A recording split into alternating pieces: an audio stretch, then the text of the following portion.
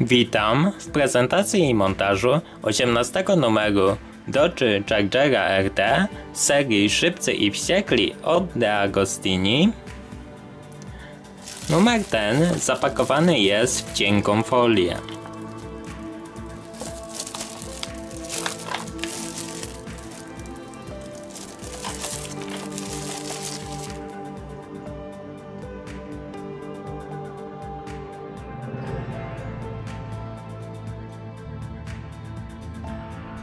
Tym numerze otrzymujemy rury wydechowe z cylindra z piątego, siódmego, pierwszego, trzeciego, kolektor wydechowy, końcówkę lewych rury wydechowych, kołnierz lewych rury wydechowych i śrubki.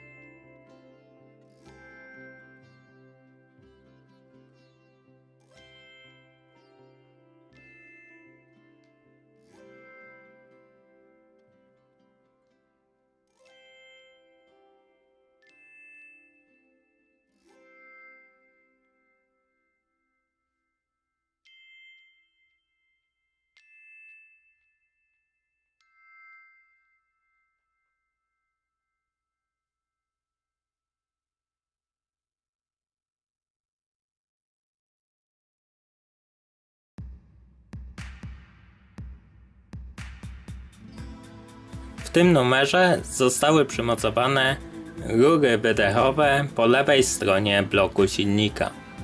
Po montażu części z 18 numerów mamy zmontowane maskę, przednią część z grillem, kierownicę, silnik, wlot powietrza, przednią ramę z zawieszeniem i dwoma kołami,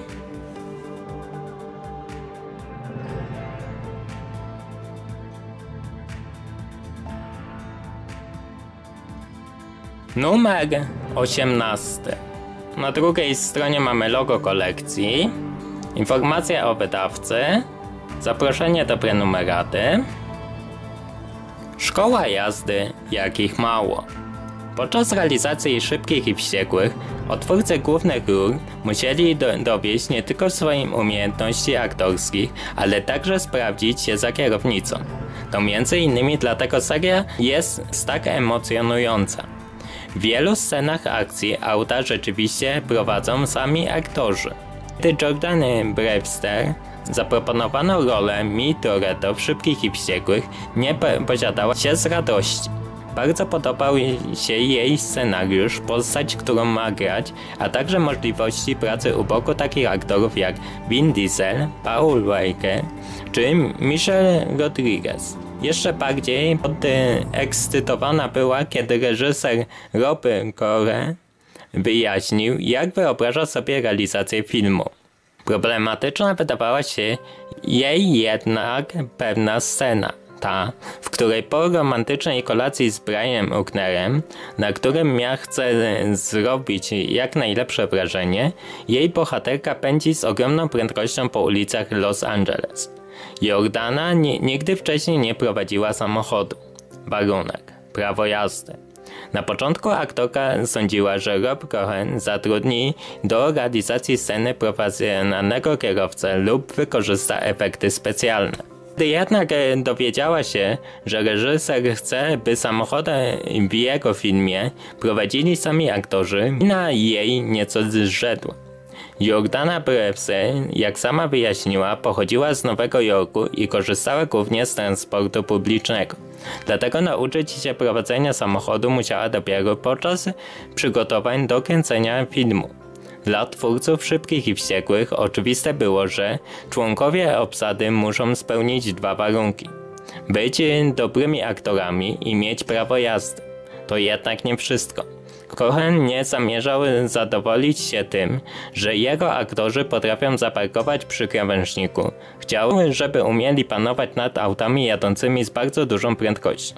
A nawet wykorzystać akrobatyczne sztuczki, takich umiejętności nie zdobywa się w klasycznym kursie nauki jazdy. Dlatego w tym celu należało zatrudnić specjalnych instruktorów. Zdjęcie informacja, że przed rozpoczęciem realizacji Szybkich i Wściekłych wszyscy aktorzy musieli wziąć udział w intensywnym szkoleniu, by nabyć umiejętności koniecznych do opanowania pojazdów o tak dużej mocy. Mamy informację o Philip G. Atwell,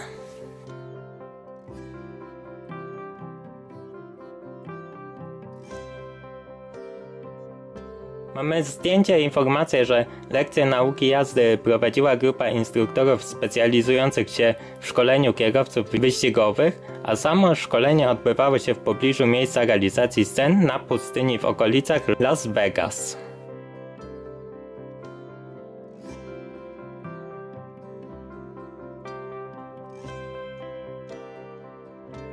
Zdjęcie i informacja, że aktor Sung Kang, który w filmie wcieli się w postać Hanna, musiał się nauczyć prowadzić jak profesjonalny kierowca.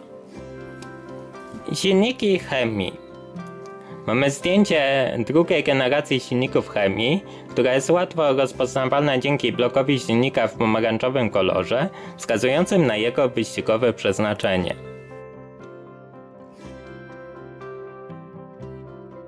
przyjęcie informacji, że współcześnie w silnik chemifestyczną komorą spalania wyposażone są LNGery chemii, Jedną z wad jednostek napędowych tego typu jest to, że głowice cylindrów nie mogą mieć czterech zaworów.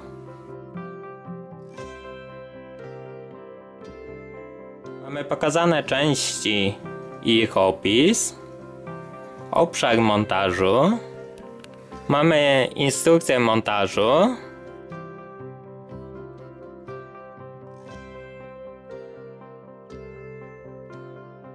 pokazany blok silnika po montażu. Na ostatniej stronie mamy tło i loga. Osoby zamawiające przedpremierowo prenumeratę z dziewiątą przesyłką zamiast ósmą z, zawierającą numery 17 i 18 otrzymywały koszulkę.